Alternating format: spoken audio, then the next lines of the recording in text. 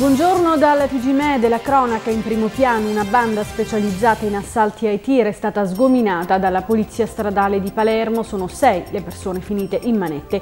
I reati contestati vanno dall'associazione per delinquere diretta alla commissione di rapine a mano armata con sequestro di persona fino alla detenzione di armi da fuoco e alla ricettazione.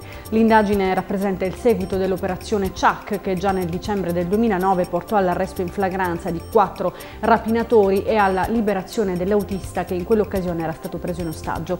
I, eh, gli investigatori hanno accertato anche il coinvolgimento degli arrestati in almeno nove rapine commesse eh, nell'arco di sei mesi ai danni di conducenti di tir. Durante l'operazione è stata recuperata refurtiva per diverse migliaia di euro.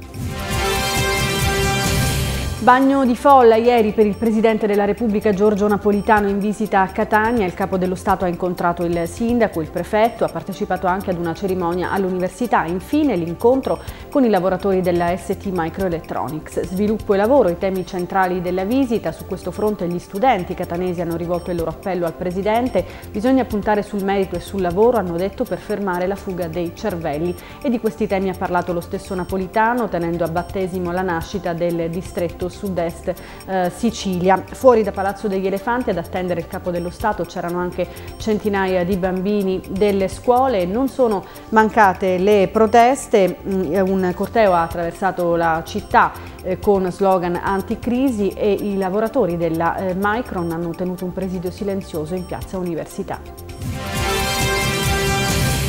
stato condannato all'ergastolo Samuele Caruso, il ragazzo di 24 anni che nell'ottobre del 2012 uccise a coltellate la 17enne Carmela Petrucci e ferì gravemente la sorella Lucia, sua ex fidanzata e bersaglio della sua aggressione. Il GUP Daniela Cardamone, dopo quasi quattro ore di Camera di Consiglio, ha pronunciato la sentenza accogliendo le richieste dell'accusa. In aula era presente l'imputato per il quale la difesa aveva chiesto l'infermità mentale. I suoi legali presenteranno ricorso in appello. Soddisfatti invece i legali della famiglia Petrucci Petrucci che hanno parlato di una affermazione di giustizia. La sorella della vittima Lucia e i suoi eh, genitori erano presenti in aula al momento della lettura del dispositivo e a preso dell'ergastolo sono scoppiati in lacrime. Con loro anche i compagni di scuola di Carmela, le due sorelle frequentavano il liceo classico Umberto I e da lì rientravano proprio la mattina del delitto. Beni per circa 15 milioni di euro sono stati confiscati dalla Guardia di Finanza ad un uomo di 75 anni di Corleone, Bernardo Rina, è accusato di avere coperto la latitanza di Bernardo Provenzano, favorendo anche la circolazione dei eh, pizzini dal carcere verso l'esterno. Sigilli sono stati apposti a 44 terreni e 4 fabbricati. Il provvedimento è della sezione misure di prevenzione del eh, Tribunale. L'anziano era stato arrestato nel 2006 per associazione mafiosa, poi condannato ad 8 anni di reclusione, una sentenza divenuta definitiva nel novembre del 2009. Armati di coltelli e taglierini rapinavano banche tra Milano e Torino. Cinque persone, tutte componenti di una stessa famiglia originaria di Palermo, sono state arrestate con questa accusa dalla polizia eh, di Milano. A dare il via alle indagini l'ultima rapina commessa nell'agosto scorso alla filiale Unicredit di Milano. I poliziotti li hanno individuati, hanno scoperto così che i cinque eh, arrivavano da Palermo e commettevano rapine nelle varie città del nord approfittando dell'ospitalità di altri eh, familiari. L'unico eh, eh, incensurato era un cugino 24enne, proprio lui aveva il compito di porre il proprio dito sul BioDigit, lo strumento per l'apertura delle porte girevoli negli istituti di credito.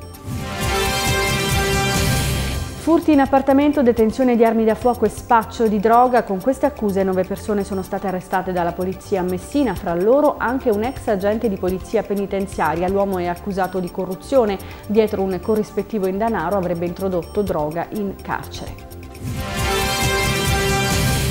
Ancora un incidente sul lavoro in Sicilia, la vittima è Salvatore Bongiovanni, un operaio di 56 anni, morto mentre eseguiva lavori di manutenzione alla condotta idrica dell'Alcantara alle Toianni in provincia di Messina. L'uomo è stato colpito da un violento oggetto d'acqua che lo ha fatto precipitare in una fossa profonda circa 3 metri. Eh, ieri un operaio 42enne portoghese era morto a Saponara, sempre nel Messinese, per il cedimento di un traliccio.